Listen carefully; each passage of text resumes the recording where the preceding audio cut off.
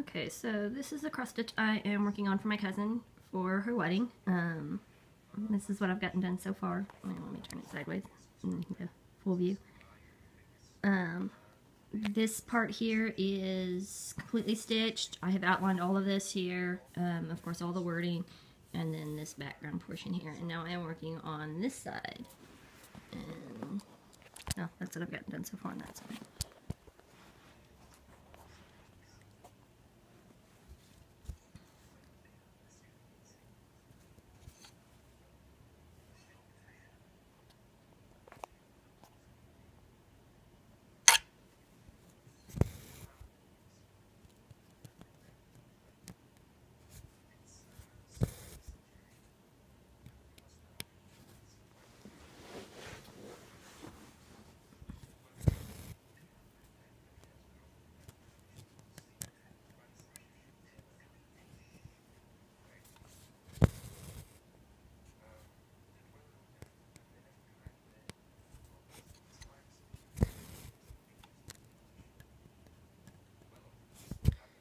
And I normally use both hands when I stitch.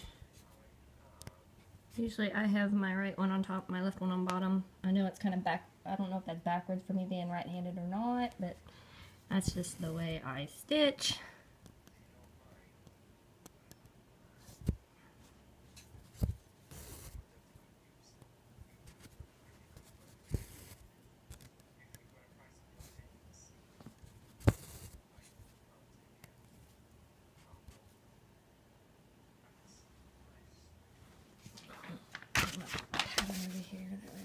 See I'm allowed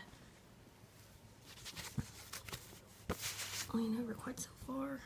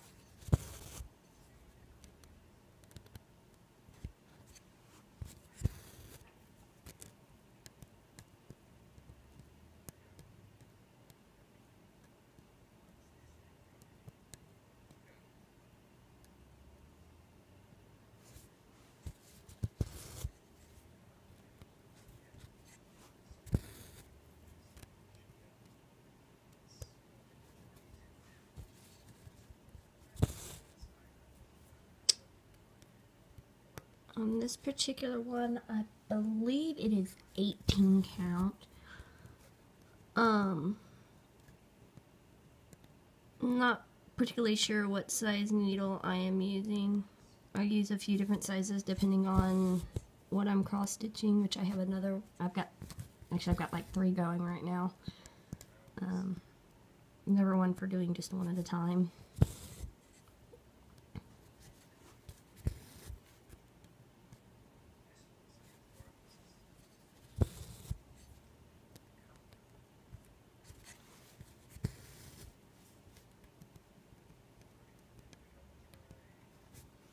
I'm hoping sometime in the future that I can get an actual camera.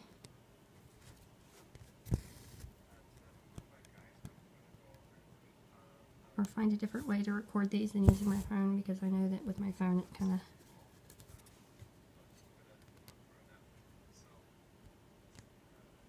it's kind of shaky. But that's what I have available to me right now.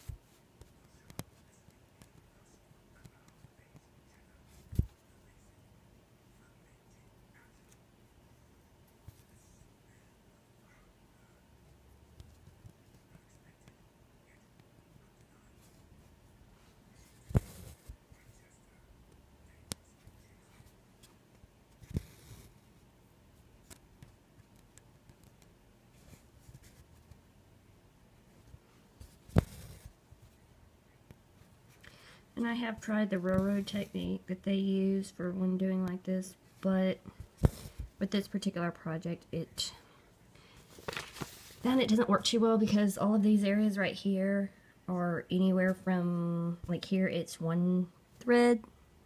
Yes it's one thread to all the way up to like five threads down here. And same with over here. A lot of this like all the whites five thread all these real thick dark brown is all five thread all the dark greens five thread so it just it doesn't work real, real well. To use the railroading technique um, except for these areas and it just it's one of those things I do it sometimes sometimes I don't. Um most of the time I just stitch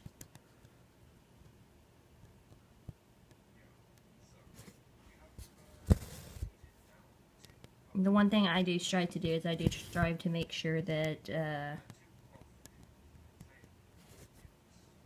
on my bottom stitches go the same way and all the top stitches go the same way. And as I'm sure you've noticed all of these half stitches are going one direction which is let's see if I can get it to focus here.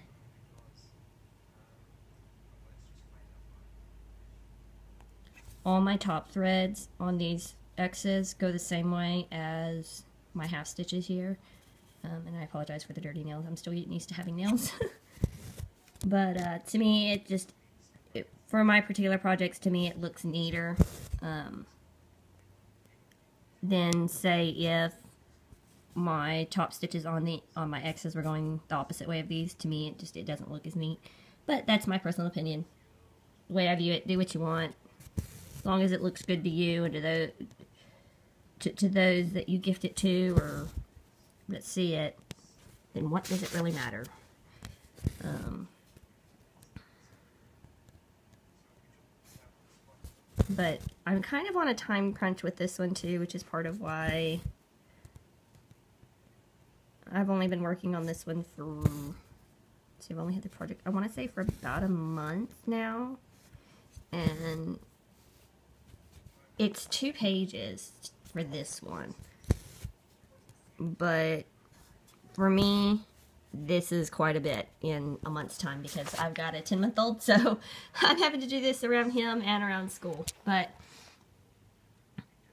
get it to refocus. As you can see, there it is. And okay, now I'm going to show off some of my other ones. Okay, this is a Heaven and Earth design one I'm doing. I've gotten about three and a half pages done. I've done some more down this way, but it's kind of hard to see under all this, all the parked threads. Um, but I'm on page four, which is all this right in here, and a couple of rows through here.